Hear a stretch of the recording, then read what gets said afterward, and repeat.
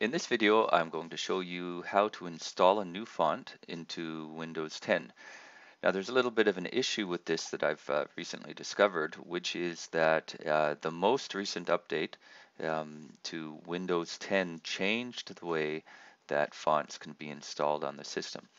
So this machine does not have that update, but I can still show you uh, the old way and uh, the approach of the new way.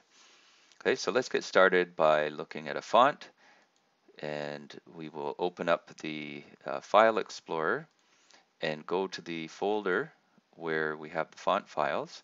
So this is a font called Bar Sophia and um, let's just turn on file extensions here. So this is a true type font, right?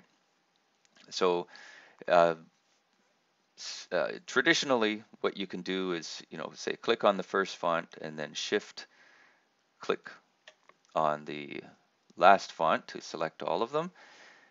Right click and we can click on install for all users. So let's go ahead and do that. And that has installed this particular font on the system uh, for use by any user that logs in. Now, um, what I discovered after the latest update on my other machine was that the right click no longer worked and I had to go looking for another way to install fonts.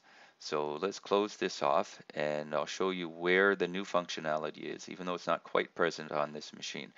So to find that you would click on your start button, go up to the gear icon uh, which says settings when you hover over it, click there and then where it says find a setting can type in font and choose font settings.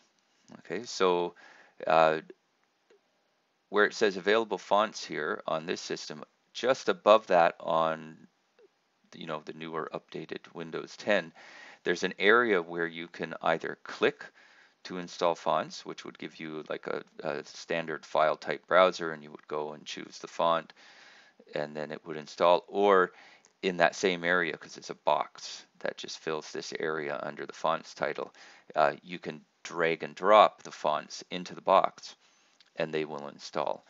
So um, I'm not sure why the right click functionality was taken out. I mean, adding that functionality in is cool, uh, but taking out the traditional right click install seems uh, counterintuitive and unproductive, counterproductive, let's say.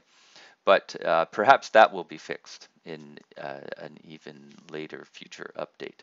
But uh, one of these two ways should get you uh, fonts into your new uh, into your system, and hopefully this has helped you do so.